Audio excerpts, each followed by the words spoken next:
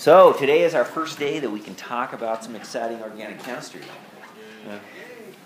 All right, so just a couple of announcements. Remember, I mentioned this on Monday that labs start next week. Okay, so don't go this week.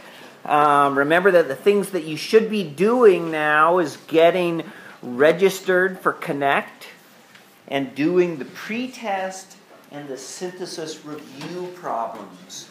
Each of those are, are for extra credit. Okay? Don't worry about your score on the pretest. Uh, clearly, you ha- if you haven't taken this class before and you're asked questions on the class, you're not going to know it very well, right? So remember what I'll do. You just do your best. If you get one point or two points, that's fine. After everybody's done, I will change everybody's score to five points for doing that. Okay? Yeah, question?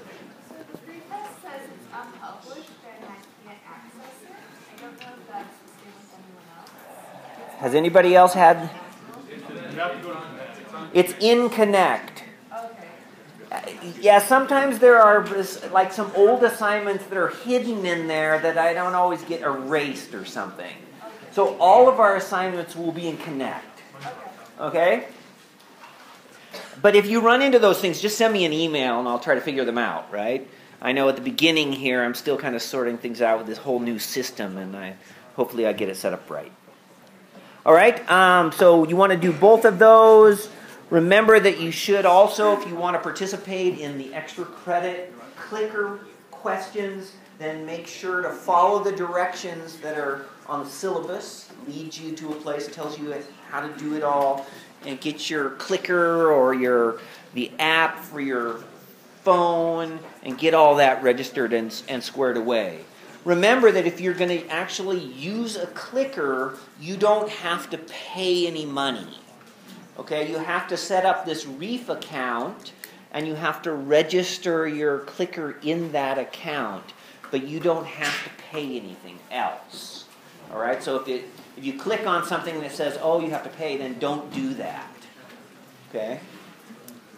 All right, the other bit of information is we have our SI, Jake is right up here in front. He's going to stand up and wave at all of you right now.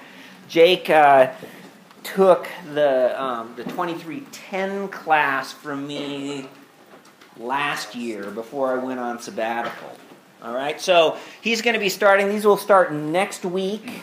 Um, the times are Tuesdays and Thursdays, uh, 7.30 to 8.20 p.m in those locations. All right, so that'll start next next week.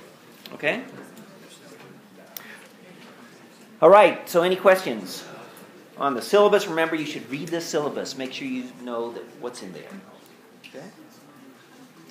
All right. So. Um, Last time, all we really did is go over the course, the syllabus, a little bit of information, a little preview of, of the topics we're going to cover, maybe a little bit of information of of how, what kind of problems you might see, um, and all that kind of thing. So, what we're going to do today is I'm going to, okay, let's stop talking. Even if it's just a little bit of talking, that slight roar interrupts other people in the class. They can't hear if you do that. Um, we're going to go over just a little bit of a, uh, an overview of the different organic structure determination techniques that we're going to cover in these first two chapters. And then we're going to start into chapter 13, which starts with mass spectrometry. So that's going to be our first technique that we're going to learn about.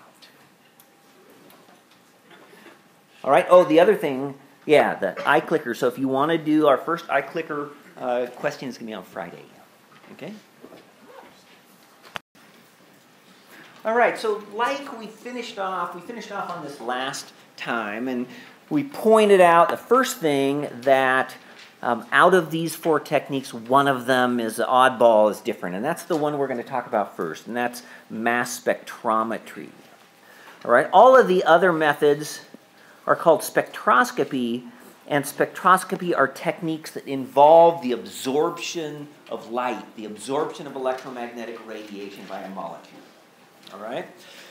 Mass spectrometry, as we'll see, uses an electron beam, so it doesn't use light. So that's a little bit different. For the techniques that use light, the difference between them all is the energy of the light that's used. All right? And that energy will cause something to take place in the molecule, and whatever takes place, the process that takes place has an energy difference, and the energy of the light has to match the energy difference of that process that's taking place in the molecule. So each kind of light is going to probe a different aspect, a different property of the molecule. When we look at infrared spectroscopy here, it turns out that the light or the frequency of that light, well, I'll remind you about the relationships between energy and frequency and those things in a, a minute. But the frequency of that light is the same frequency as which bonds vibrate and bend. Okay, so when the light comes in, if the frequency of light matches the frequency of the bond stretching, then it will absorb light. Okay, so different kinds of bonds vibrate or bend at different frequencies, and so they will absorb different frequencies of light. So each kind of bond will absorb a different frequency of light. And in organic chemistry, essentially the way we can think about this is different bond types essentially correlate to different functional groups. So IR is good at identifying the presence of different functional groups in the molecule. All right? UV visible, we're not going to talk about this one, but I just wanted to mention it here. UV visible light is much higher energy, and that has the right amount of energy to elevate an electron from one orbital to a higher orbital. So it actually pops electrons up. Though it can only do that when we have conjugated pi systems, meaning that we have double bonds that are next to each other. Okay? So that brings the orbitals closer in energy. If we have only an isolated alkene, the energy gap is too big, and even that ultraviolet light doesn't have enough energy to elevate the electron. So essentially, what ultraviolet visible spectroscopy does is it's able to, to, detect these kind of conjugated pi systems. Mm-hmm. Right? It really doesn't give a lot of structural information other than that. And so I think that's why they've kind of taken it out of the chapter. What it is good sometimes for is it's very sensitive and it's used as an analytical method for detecting molecules or separate separating molecules sometimes will follow the separation based upon ultraviolet absorption or it can be used for quantitating the amount of a compound that's present. All right, but we're not going to really go into that e any more than that. The big technique here that we'll spend a whole chapter on is this one that sounds very complicated nuclear magnetic resonance spectroscopy. Okay, and so we usually refer to this as, as NMR, so we don't have to say that whole thing every time. NMR, what it can do is it can directly detect the presence of hydrogens and carbons, okay, in separate experiments. So it provides information about the number of hydrogens or carbons and how many adjacent, usually hydrogens, there are. So if we have a hydrogen on a carbon, we can tell how many hydrogens are on adjacent carbons and it tells us information about their environment. So, what atoms, other atoms, are nearby? Is there oxygen next to it? Is it on a benzene ring? Is it on a double bond? Is it, you know, we can get all of this kind of information.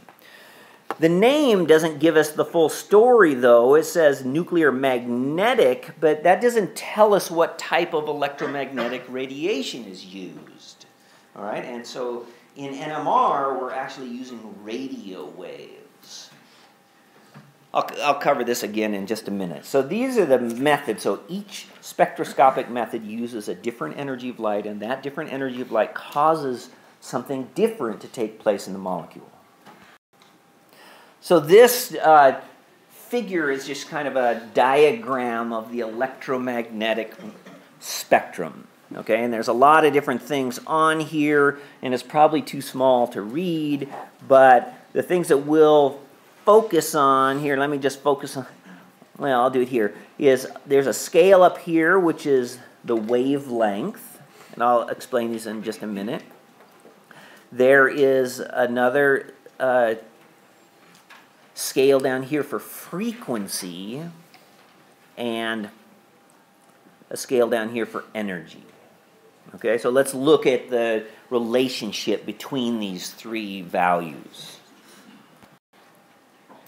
All right, so electromagnetic radiation can be considered as a wave. And that wave has several properties. One, the distance between the tops of the waves. This distance here is called the wavelength. And if we start at one point and we go to some other point, the frequency is how many oscillations take place within a time period, usually per second. Right? So a higher frequency will have a much faster wave, and a low frequency will have a very long, very slow wave. Okay, so this is frequency here. Now, the important relationships are that the energy of this light, first it equals, we say E equals h nu. So this h is just a constant. It's called Planck's constant. And all we need to know is that it's a constant. That doesn't change. We're not going to calculate these things or anything. And this nu value here, this is the frequency. Okay? The main thing that we want to know from this part is that the energy is directly proportional to the frequency. All right, so what would happen if we go to a higher frequency? Is that a higher energy or lower energy? Higher energy. Higher frequency, higher energy. All right, if we continue on across here, we see also Planck's constant again. C is the speed of light. And this lambda right here is the wavelength.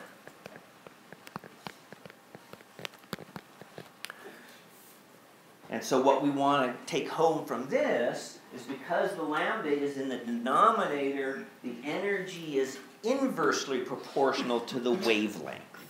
Right? And the frequency is inversely proportional to the wavelength. So as we go higher in energy, the frequency goes higher, but the wavelength gets shorter. And that makes sense, right? If we have a wave like this, if it's going very fast, then the distance between those, the wavelength gets very small. If we have a very slow frequency, then the distance from peak to peak is wide, and so there's a long wavelength. Okay?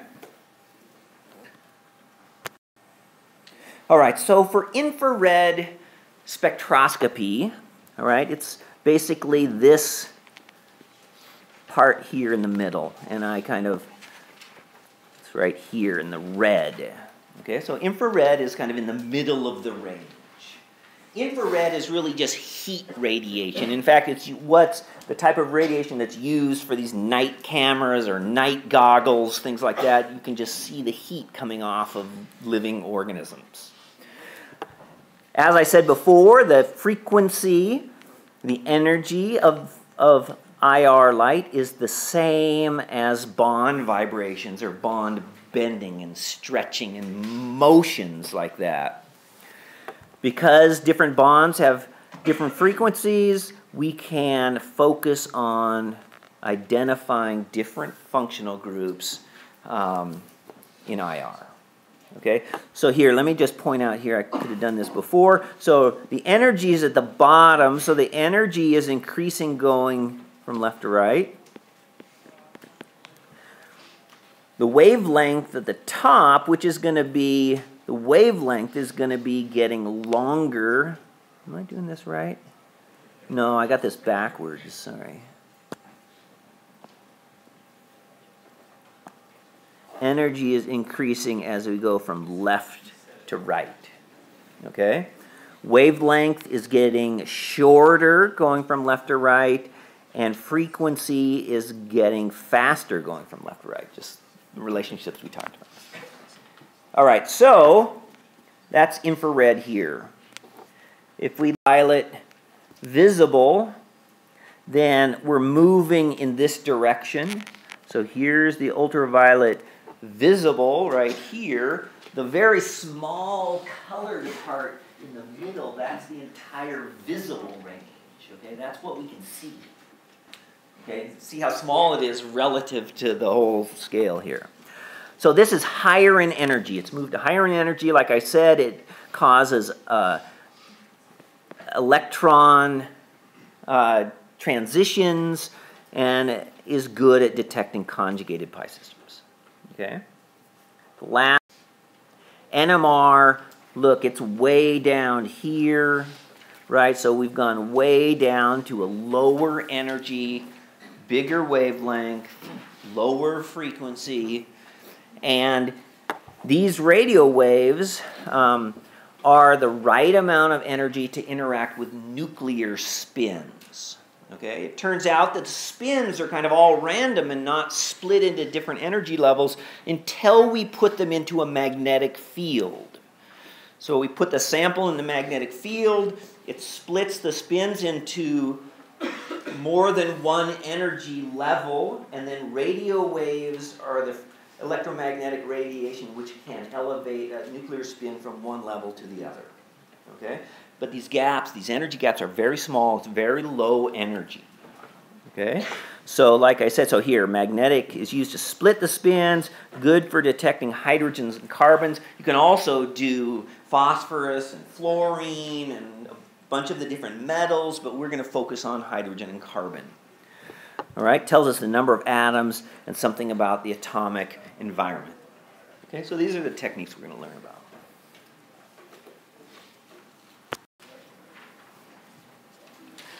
All right, so chapter 13, the first technique, well, this is going to be on mass spectrometry and, oh, I thought you to see that stuff up there when I do this. Hmm. Okay, and infrared spectroscopy. Okay, we're going to start with mass spectrometry. So we're going to We've already kind of done this. We're going to talk about how this method works and what we measure. And then we're going to learn how to apply the information to structure determination. All right, in mass spectrometry, we can gain several types of information. Like the name implies, we can measure a mass. All right, and we can measure the mass. What we measure is actually not just purely the mass, but we measure the mass to charge ratio. So we're going to have to make ions, and then we're going to measure a mass to charge ratio of those ions. For the technique we're going to look at, the charge is always 1. So essentially we're measuring the mass. But there are mass spectrometric techniques where you can have multiply charged ions. These are usually for big proteins and things like this. They can make lots of ions, and then it makes it behave like it's a smaller ion because the mass to charge is lower. All right, so we're going to measure the mass to charge ratio. From this, if we have, from this, we hope to be able to gain some information about the molecular formula Okay, this is important information if we're trying to determine a structure. And what we can also gain from this technique is some information about the connectivity of atoms because the ion that's generated initially will often fragment or break into pieces. And it follows some reproducible mechanisms in order to do that right? So we see the masses of these fragments and we can kind of work backwards to, help us uh, determine the structure. Okay? So there's several stages in this technique as well. So the first stage is that we need to generate an ion. Okay? And um, the way that we're going to talk about doing this is that we usually have some molecule, I'm just going to call this M, for our molecule or analyte or something, and we're going to take electrons and we're going to shoot that molecule with electrons. And we got like an electron gun. And that's going to energize the molecule, and once it's energized, it's going to eject an electron. Okay, so this goes like this, and we're gonna. I'm just gonna draw it like this. We kind of lose the electron that. Well, let's say we're that one that's shooting in. We're. It's just to energize it, but then we're ejecting an electron, and so what we end up is with an ion. We've lost an electron, so what would be the charge of the ion? A plus charge. We usually draw it like this a plus, and then there's an extra electron. So if we had a pair of electrons in a bond somewhere, non bonding, we knocked out one, we got one left over. Okay, so this species here is a radical cation. Okay, it has both a radical there and a cation. Okay? Once we've generated this, this charged species, then we need to separate and well what this will do also is oftentimes like I said is fragment split into pieces. If we're lucky there's some of the ion left over that has all of the atoms in it. Sometimes that doesn't happen. And then what we need to do is separate well I have this down at the bottom here. We then need to separate the ions and detect them. Okay, so let me show you a little diagram of what the instrument um, looks like. So if you're just trying to do all of these notes freehand, remember that, you know, I have essentially the notes that I'm showing you here and that I'm writing on, they're all posted on, well, at least for a couple of chapters so far, are all posted on Canvas. So I would recommend to download those, and I see a lot of you doing that already, and make your notes on there because you draw things like this, right, fast enough, unless you're like just a super artist. Okay, so this is just a kind of a diagram of, of the mass spectrometer. So over here is where the sample is introduced to the mass spectrometer, all right? And what we have to do here is we need to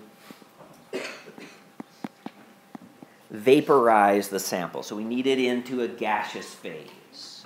Right? And usually in this technique, there's two ways that help to do this. Is one, we can heat the sample, and two, we have this sample under a vacuum. All right, so if we reduce the pressure, then the sample will boil at a much lower temperature, right? Just like when you go up in altitude, right? The boiling point goes down. So once we vaporize it, it kind of finds its way over, over here and goes through this little slot and this filament right here, these little red lines are the electron beam.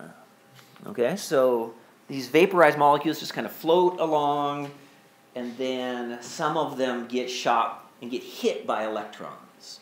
When they do that, they get excited, they eject an electron, they make a cation, and then you might imagine this repeller plate here. So if this has a negative, no, has a positive charge on it, when that cation is generated, the two pluses are going to repel each other, and the ion is going to be shot down a tube. Okay?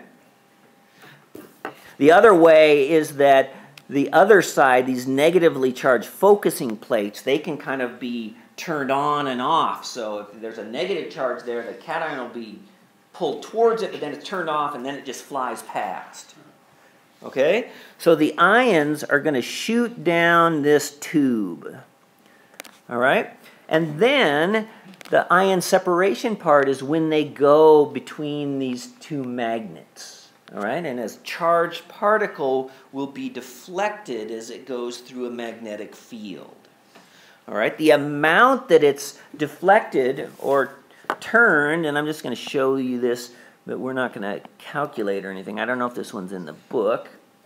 The radius, so if this is a circle right here, right? The radius of this turn, how much it curves, equals the square root of the mass to charge ratio times 2 times v over b squared. So the mass to m over z, this is what we usually use for mass to charge. V is the voltage for the acceleration. Okay, so those are those accelerating plates. Stronger the voltage there, the faster they'll go. All right, and B is the magnetic field strength, which is causing the ions to, to turn. Okay? So, what we can see here is that the mass to charge ratio is, is proportional to the radius. All right, so a higher mass to charge ratio will have a bigger radius, and if it, for a given situation, it might just go off to the side, makes it too big of a curve, and doesn't even hit the detector. Right? A small uh, mass to charge might turn too sharp. And so, what we essentially have to do is we have to scan through, use that magnetic field and scan through. We kind of bend the whole beam around like this, and in that process, we can measure all the different masses. Okay, at any one magnetic field, only a certain mass to charge ratio will hit the detector. Okay, so we scan through. So here we can scan the magnetic field. All right, so then it goes through a little slit here at the end, gets collected, and then there's a detector, and then it gives us a graph. All right, and it's that graph that we're going to want to be able to detect or to interpret. Questioning the magnetic field or changing the B variable. Right, exactly. Right. So you could do it in two ways. You can either change the B or you could change the V, right? The accelerator voltage. Right, so either of those could be changed and, and change which of the ions are going to hit the detector at any certain combination of variables. All right, so this is what the spectrum looks like. Okay, so this is just of, of, of methane, so this is about as simple as we can get. But the main thing to see is that we have this graph on the x-axis is the mass to charge ratio. All right? So as we see, we're getting larger mass as we go from left to right. What's the mass of methane? 16, right? Carbon is 12. Each of those hydrogens is 1. And so that's at right here at 16. Okay? So we have the mass to charge ratio on the y-axis we have the relative abundance. So the height of the peak is telling us how many of those ions are being detected. Okay? The bigger the peak, the more abundant the ions are. The more either the more stable they are, the more readily they're formed, those kind of things. All right? The ion that has all of the atoms of the molecule is referred to as the molecular ion. Okay, so this has includes all atoms. Okay, another thing in this one is here is that the most abundant ion is called the base peak. Okay, in this case, the molecular ion is also the base peak, but they don't have to be the same. Okay, the base peak, the intensities are always adjusted so the base peak is at 100%. Okay. The other things we can see then is notice that there's this very there's arrow here. They're showing this very small ion right to the upper end of the molecular ion. Call this the M. M is the is the molecular ion plus one, so it's one mass unit higher. Right. So how can you have a higher mass if you already have a molecular ion that has all of the atoms of the molecule? Right. So the reason is is that this this M plus one contains it's usually the isotope for carbon. So it has a C13 isotope. And for carbon, C12 is, you know, is vastly the major isotope, but C13 is 1.1% of all the carbon. Okay? So this is going to be 1.1% for each carbon. Okay? Methane has only one carbon, so this peak should be exactly or very close within an experiment 1.1% of the of the peak that it's the isotopes of. Yeah. So if it had two carbons, it would be twice. Right. right. If there were two carbons, this peak should be 2.2% of that ion. If there's six carbons, it should be 6.6%. Because there's 1.1% chance that each of the carbons in the molecule, right, the same chance for each one. Okay? So the main thing we have to do, well, I'll show you that in a minute. Okay, is that we have to make sure that the peak that we're looking at, if we have a, a, a, a, a list of abundances we have to make sure that the peak that we're looking at is at 100% if we want to me measure that percentage. All right, so the other thing here, we have this m plus 1 is all of these peaks just below the molecular ion are generated by fragments. So the molecule's falling apart. There's not too many things that methane can do, right? But let's say we make an ion like this. Here's our radical cation. We're not really even saying, really for methane, the only place we can ionize are within those carbon-hydrogen bonds. Right? There's no other electrons. So essentially, you have a carbon-hydrogen bond, and we've knocked one of the electrons out, and so that bond becomes weakened because there's only one electron in it. Right? So that bond can break. We end up with a cation, plus a radical. Right? So we're here, we're going to lose a hydrogen radical, and we then get CH3 plus. Okay, we don't see the radical, there's no charge on it. We just see the loss of that. And so that would give us our, our you know, this second biggest ion here is at, is at uh, 15. Okay?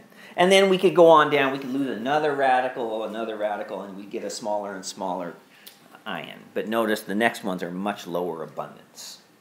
Okay? Yeah, question. Is the m plus 1 peak based off of the molecular ion or the most abundant ion? Uh, okay, so the question is, is that m plus 1 peak, is it based upon the most abundant one or the, the molecular ion? Essentially, every ion in the spectrum, every time we have a fragment that has some composition of atoms, if it has carbons in it, it's always going to have an M plus 1 ion. Because every ion in, in the spectrum, if it has carbon in it, it has 1.1% chance that those carbons are C13 isotope rather than C12. Okay? So what we would usually look at though, so actually this M minus 1 fragment would also have an M plus 1 peak, and that's kind of superimposed in here. Okay? All right, so what does it look like if we have something than just methane? Right? So let's go to a to a, a slightly bigger molecule. So this is also still just a um, linear alkane.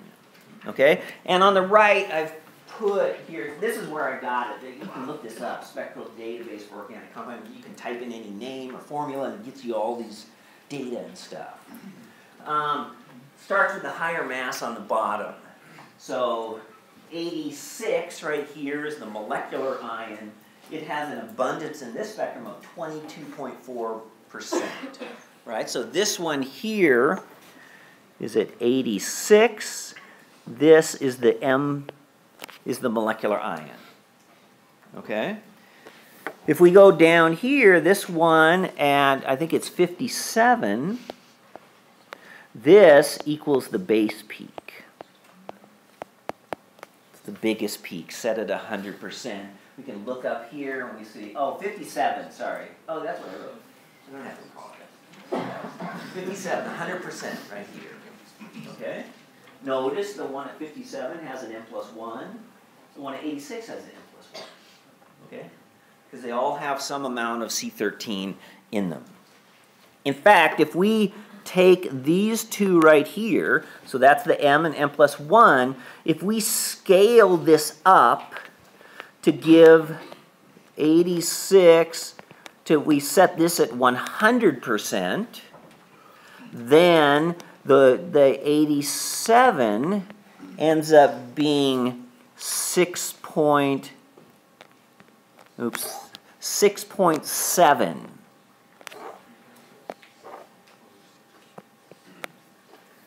Okay? So all I did, right, is I just divided 1.5 by 22.1. I got the ratio and then multiplied it by 100.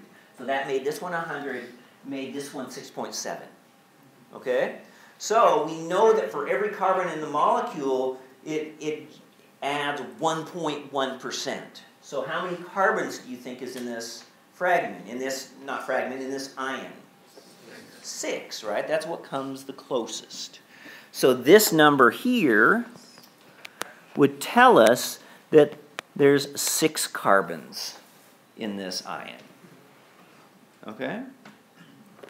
Now, the other things that are important here is to look at the masses of the fragments. So that's the molecular ion. All of these other ones are all fragment ions.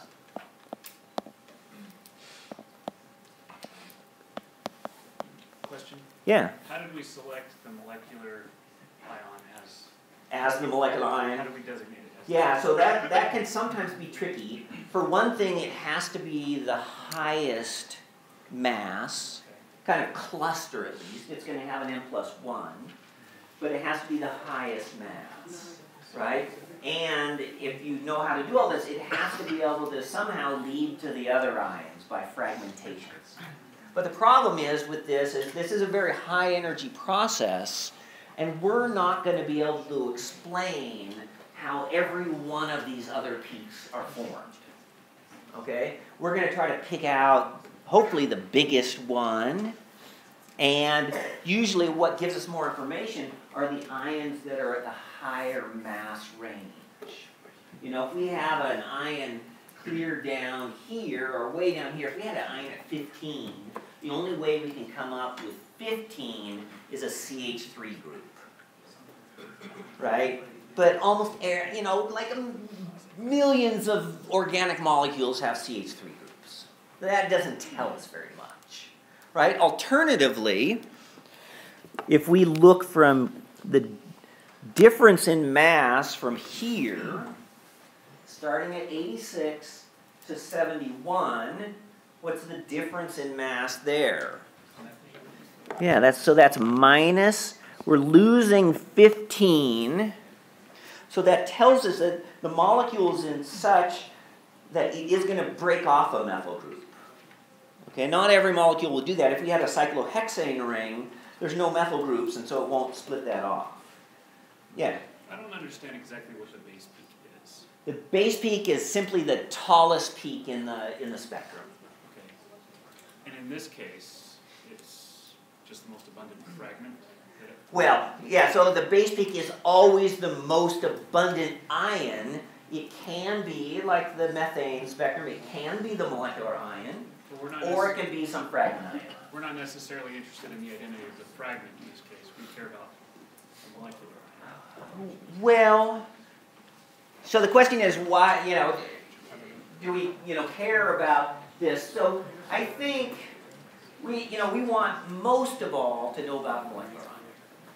But there's some reason that this peak is, this ion is the most abundant, right? So that means that that fragment, that ion must be stable or easily formed, and so we would like to be able to identify what the base peak is as well. Yeah. Question in the back. So for the m plus one value, which is six point seven, do we only care about like the whole number and we would never round it? Yeah, I think. So they don't really go through this too much in our book. Um, you know, there are other isotopes of other atoms that can also contribute to the size of this. So, and there is some experimental error in the measurement here. And so we're gonna, yeah, kind of have to round it one way or another to see what fits. Sometimes it's gonna be further off, sometimes it could be closer. Um, it doesn't always end up as perfect as we like it to be. Yeah. Will a molecular peak always be present, or is it possible that it is only like a fragment? Right. So that's a good challenge too in identifying the molecular ion because sometimes if the if the molecular ion very readily, very easily, well, if it's not very stable and it very readily fragments, you can have a spectrum that doesn't show the molecular ion. Okay? And then, you know, so maybe we don't see this, and we only see that we're starting here. Then it's a more challenging aspect because you don't know whether it's a molecular ion or not. Okay, we'll talk about one way in a little bit that we might be able to tell if we saw this, we might be able to tell that that's not the molecular ion. Okay, but I'll save that and we'll get to it in a minute. Yeah. Where did the six point seven come from? Oh, all I did is I took the ratio here and I just scaled it up. Yeah, question. get these fragment ions from? Is it just from us using mass spectrometer and they get produced, or? So the fragment ions, essentially what we're doing, so imagine this. Um, oh, I can't write on my paper, then you won't see that. So let's say, so C6, let's just figure this out. C6, 6 times 12, right, is 72 plus something to give 86, right? So this is just C6 H14, right? So it's just a spectrum of hexane. So let's think about if we had some hexane. I'm going to draw this carbon here. Let's just imagine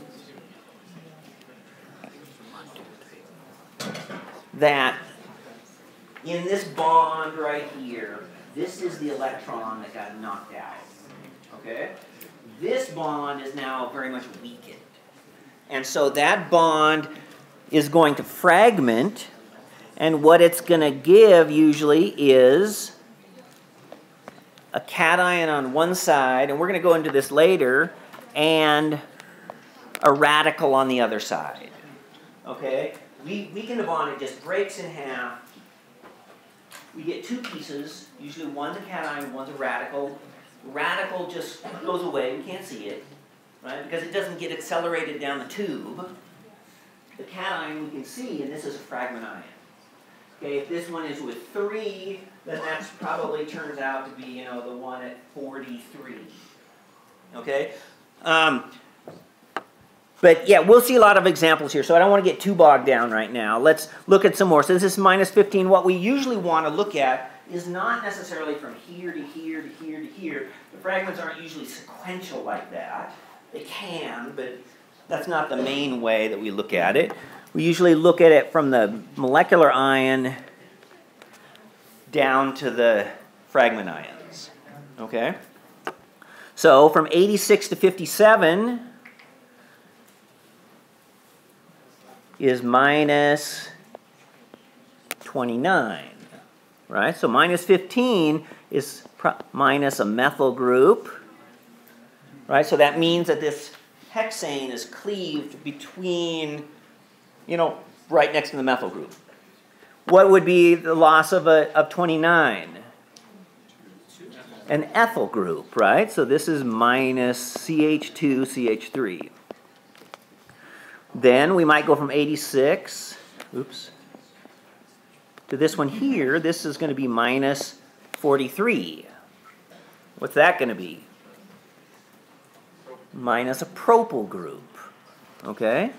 So minus CH2. So this is very characteristic of linear alkanes in that we have a loss of 15 first, and then notice that these other ones are all 14 mass units apart, right? Because we essentially have a string of CH2 groups, which are 14 mass units. Okay, so this kind of pattern, we can identify, you know, alkanes like this. Okay? Yeah. So between each peak, is it always like from the highest, the molecular ion to the next fragment? Is it always going to be a methyl? Uh, okay, so the question is, is from the molecular ion to the next peak always going to be a methyl? No. It just happens that for hexane, that's one fragment that we get. Okay? Doesn't mean that that's the first fragment that takes place.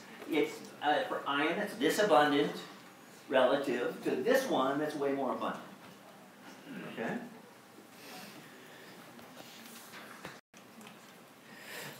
Okay, so let's look in this last bit. We're not, of course, making it quite as far as I hoped. I like all the questions because it means you're a little bit interested, but um, a little bit, yeah. Maybe I'll start to pique your interest. All right, so once we know we have a molecular ion, then from that molecular ion, it would be nice to be able to generate a molecular formula, right? That's what we really need. Okay, so the book kind of goes through a reason, kind of a weird. I've never seen this approach exactly before. It's kind of a, sequ- uh, a sequential thing here, but so this is what we're going to do for this, and here's some of the directions over here. So if we only have a molecule with carbon and hydrogen, then what we're going to do is we're going to take this mass, 114, we're going to divide it by 12. 12 is the mass of carbon. We're just going to calculate what is possibly the very maximum number of carbons that we could have in this molecule. Okay? So for this, if we do this, it gives us 9.5. Okay, so this would give us a formula of C9, and the 0.5 part, whatever's left over, is, has to be made up in hydrogens.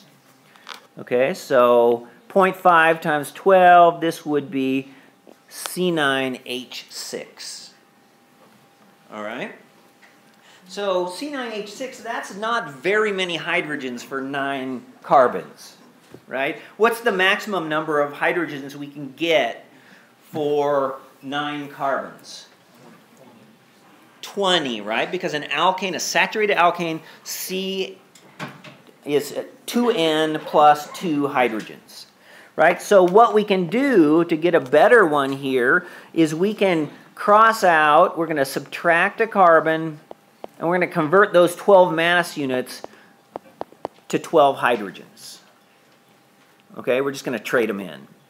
So that would give us C8, H18. Okay, would that one work?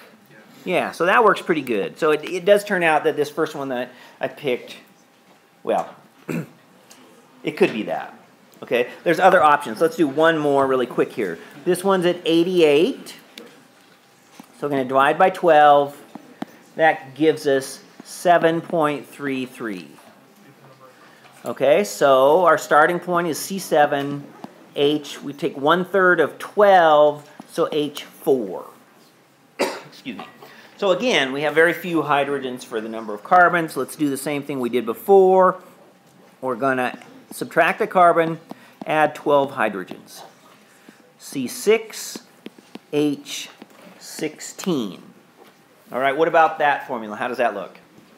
No, it's not that good, right? We actually have too many hydrogens. So maybe this one has an oxygen in it as well.